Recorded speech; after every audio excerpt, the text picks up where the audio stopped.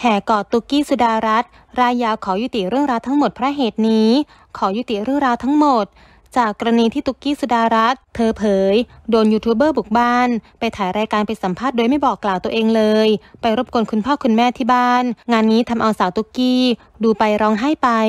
ล่าสุดสาวตุกกี้ ได้เคลื่อนไหวอีกครั้งเป็นการจบดราม่านี้ โดยเผยว่าตามนี้เลยนะคะ เมื่อคืนนี้ 21นาฬิกาตุกกี้ได้รับการติดต่อจากบุคคลสีท่าน ซึ่งแจ้งว่า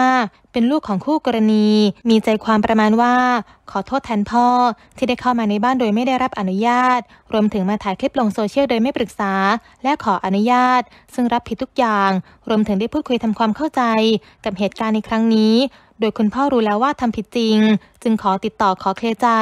และแจ้งว่าเข้าใจความรู้สึกตุกกี้ และเข้าใจความรู้สึกของคนเป็นลูกทุกอย่าง จึงได้ปรึกษากันในครอบครัว จึงติดต่อมาขอโทษ และขอรับผิดแทนพ่อ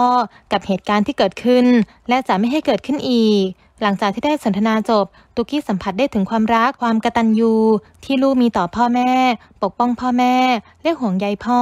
ตุกกี้ซึ่งก็เป็นลูกเหมือนกัน รักเทิดทูนพ่อ และแม่ยิ่งกว่าชีวิต เข้าใจหัวอกคนเป็นลูกดี